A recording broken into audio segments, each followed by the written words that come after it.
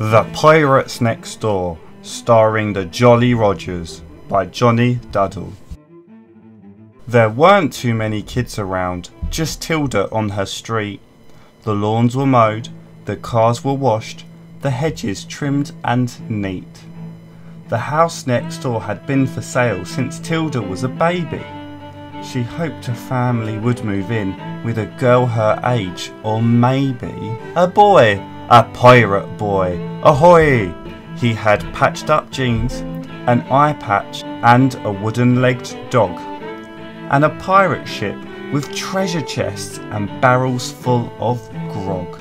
Where are the Jolly Rogers will be anchoring next door. We've sailed the seven seas, but now we've had to come ashore. I feel a little landsick, but Mum says it'll pass. That's my mother over there digging up the grass. That's Dad over yonder, the captain of our crew. He likes to shout ooh a lot, 'cause that's what pirates do. Grandpa won't set foot on shore, he's allergic to dry land. The last time that he left the ship, the king chopped off his hand. That Erkin there called Nugget, she's a rascal as you'll see. She ain't learned to fire a cannon yet, but then she's only three.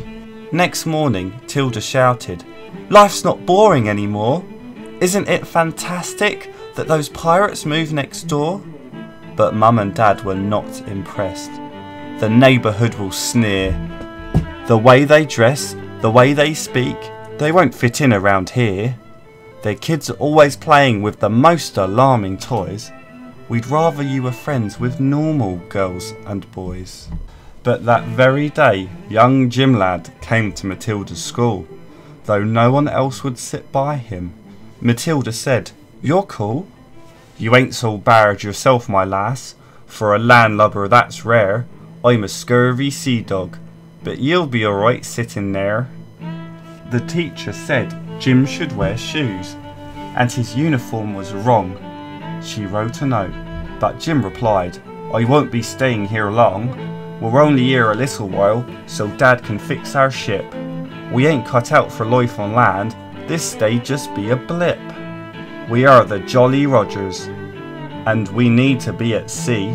School's just grand, but understand, it's a pirate's life for me. After school, a neighbour came around for cake and tea. Her name was Mrs. Bumble, from number 33. Shh.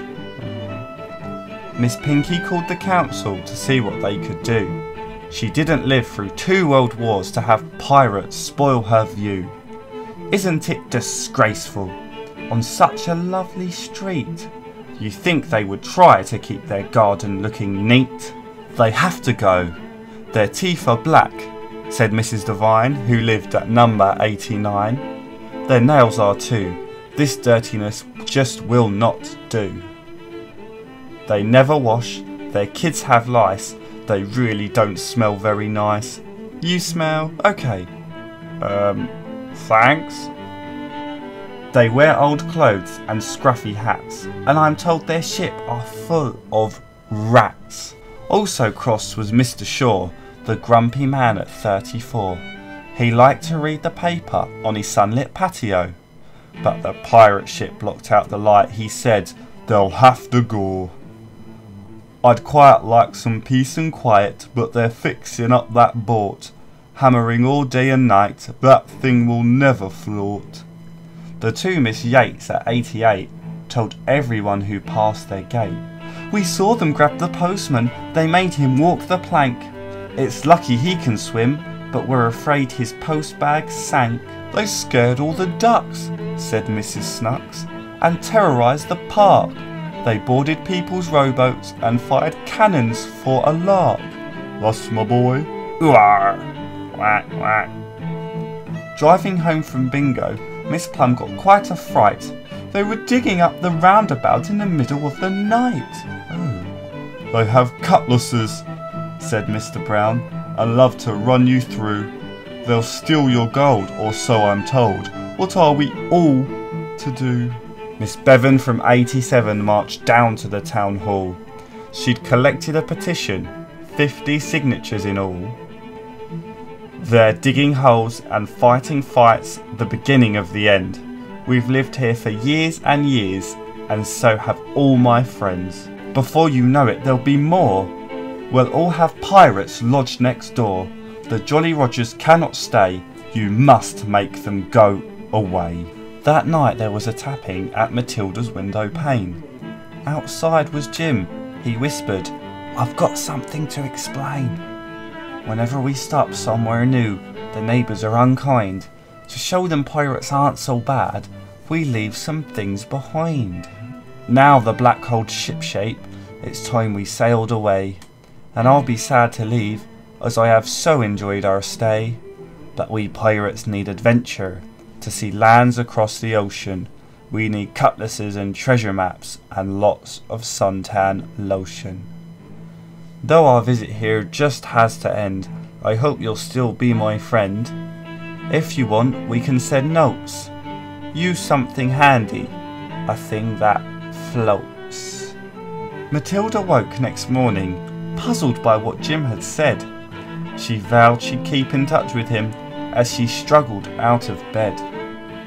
She opened up her curtains as she stretched and had a yawn, and there to her amazement was a cross on every lawn.